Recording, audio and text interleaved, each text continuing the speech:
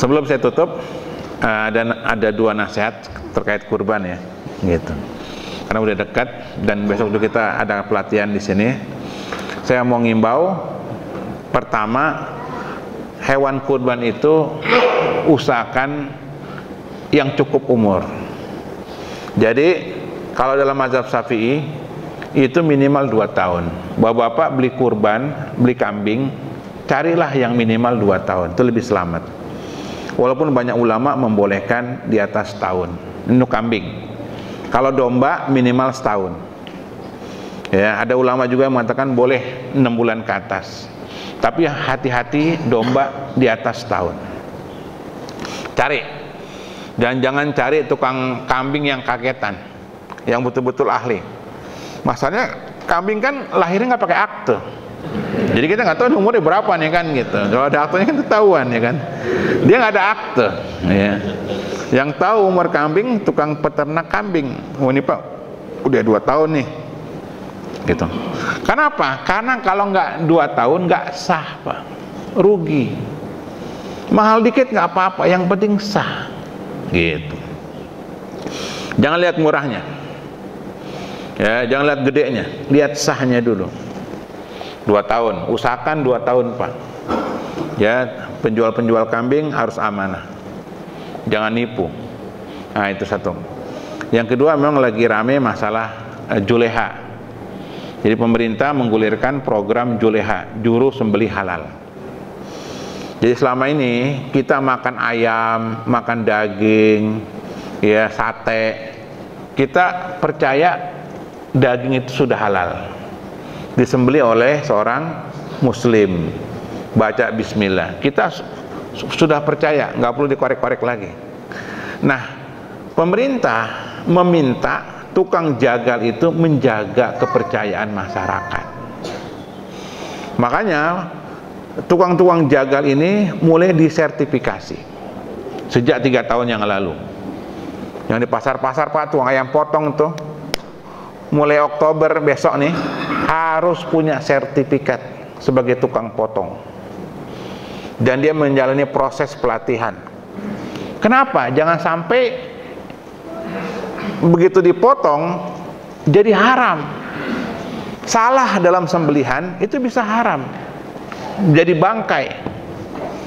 Orang potong kambing nih shot belum mati. Digetok sama abangnya duk mati itu haram itu mati karena digetok bukan disembeli bukan hanya korbannya nggak sah tapi hewannya jadi haram. Kalau korban nggak sah dagingnya masih masih bisa dimakan.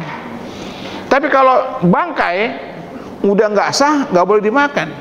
Tuh. Ya begitu motong abangnya nggak sholat. Tukang jagal jumatan kagak itu di pasar-pasar itu.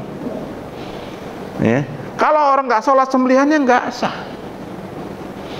Nah, demikian kalau dia mau mau motong kelihatan tuh pakai jimat gelang bahar. Kan tukang jagal gede-gede badannya tuh, iya kan? Kayak saya.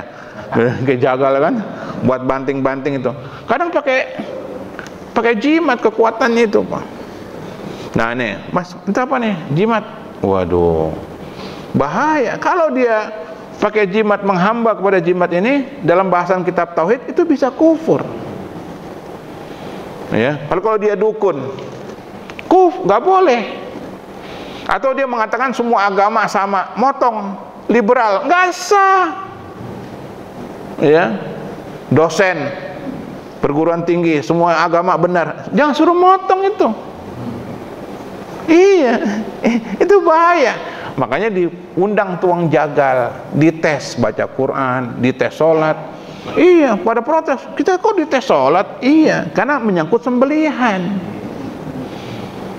Iya jadi ketahuan tuh yang nggak sholat bingung. Wah kita suruh tes sholat nih belajar lagi baca sholat ya kak ketahuan yang nggak pernah sholat ya kan? Nah, kalau nggak ketahuan dia nggak belum nggak sholat, itu nggak dikasih sertifikat sama negara. Kerjasama Departemen Pertanian sama dengan MUI bagus pemerintah. Ngasih kebijakan juleha juru sembeli halal. Nah, jadi selama ini kita lalaikan. Orang percaya aja ngasih hewan kurban ke tukang jagal. Ternyata tukang jagalnya bermasalah. Nah ini harus dikasih tahu kepada umat.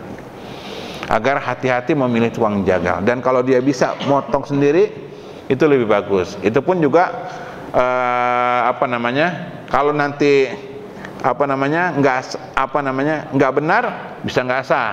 Ya makanya harus betul-betul kalau mau motong sendiri betul-betul ngerti. Gitu. Ya mudah-mudahan yang kita semua yang hadir dikasih rezeki oleh Allah Subhanahu wa taala. Bisa kurban ya kan?